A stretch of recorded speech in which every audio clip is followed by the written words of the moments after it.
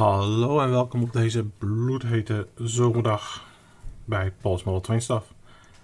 Ik was nog niet helemaal klaar met Zwitserland. Dus ik heb hier een, uh, een Roco, dit is alleen maar de kap. Uh, een, de, de, de rode RE uh, 460 met het 2000 logo er nog op. En ik ben aan het kijken of ik deze digitaal kan maken. Nou, dat is makkelijk. Je plugt er de decoder in en klaar. Maar ik las ook uh, op Benelux Forum dat die lampjes nogal heet kunnen worden. En daarmee uh, de kap kunnen smelten. Nou, uh, ik weet, ik kan in, dit is een Lockpilot standaard. Ik kan hierin de felheid van de lampen terugregelen. Zodat ze niet zo fel zijn en ook niet zo warm worden. En ze zijn nu heel warm. In plaats daarvan dacht ik, uh, dat kan, maar ik, ik wil iets permanenters. Ik probeer er uh, LED in te zetten. Nou, het is nu niet echt te zien. Uh, misschien als ik deze bedek. Uh, heb ik hier nog iets in deze bedek. Die nu nog brandt. Dat is een LED-lamp. Zo. Het zit nog provisorisch in elkaar.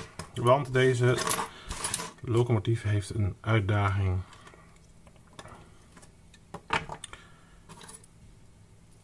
De decoder gaat er even uit. Dan kan ik het niet ongeluk iets opblazen. Zo. Um,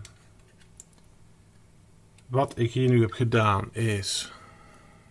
Ik heb een krimpkous gedaan over wat hier de achterste pol op de gloeilamp is. Ik heb de led geklemd tussen de voorste, tussen, tussen het uh, grote deel van de gloeilamp. Um, ik weet even de benaming niet.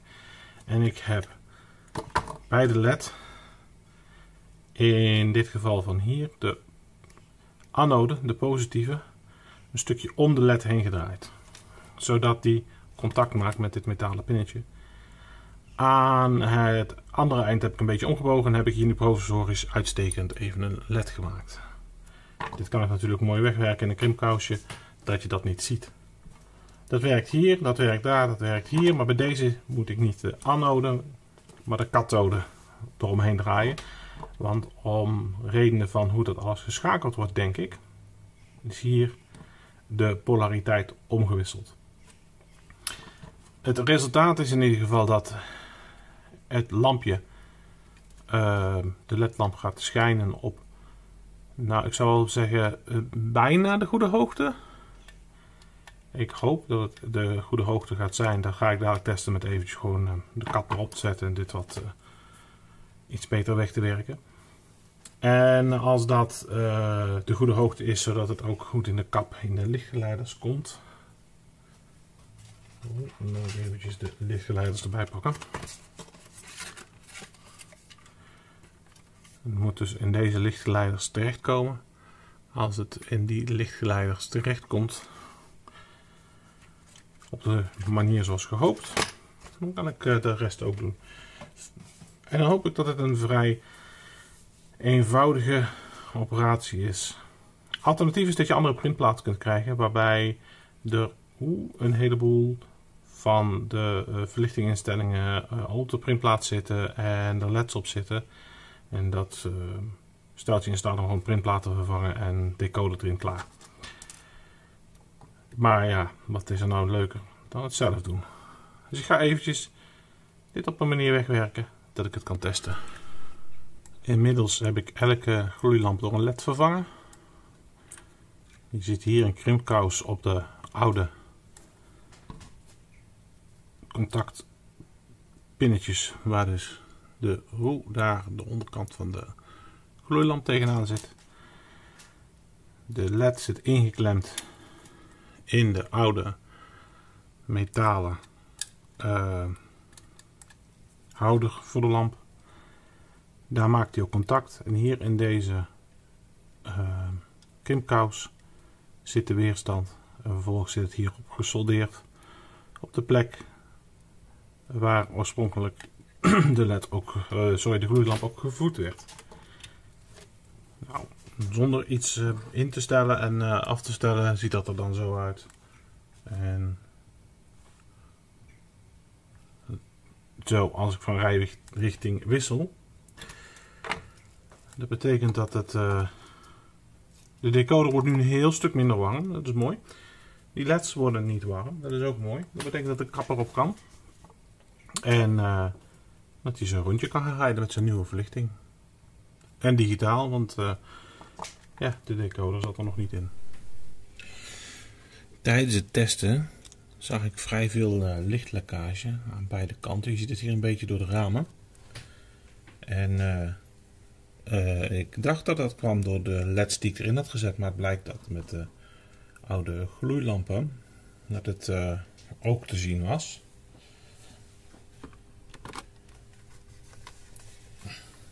heb ik dat. Andere kant heb ik inmiddels aangepast. Ik zal even beide lampen aanzetten. Zo. Er is nog steeds lichtlekkage. Uh, maar ik ben bezig met aluminiumfolie om hier een betere uh, shielding voor te maken. Dat het licht hier niet zo fel doorheen uh, komt. Ik ben nog een beetje aan het puzzelen hoe hoog de folie moet komen. je ziet het zijn hele felle lampen. Ehm, en ook ben ik in de uh, in de decoder bezig om de lichtintensiteit een stuk terug te schroeven. Dat, ook dat helpt. Ze zitten nu veel dichter bij de gloeilampintensiteit. Nou, ik vind die felle lampen op zich wel leuk. Het is een beetje puzzelen zo. In de hoop dat ik dadelijk minder lichtlekkage heb mooie lampen. Ik vind in ieder geval de kleur goed. Of dat ook realistische kleur is, dat, uh, dat weet ik niet. Het maakt me dan iets minder uit. Dit is de kant zonder folie.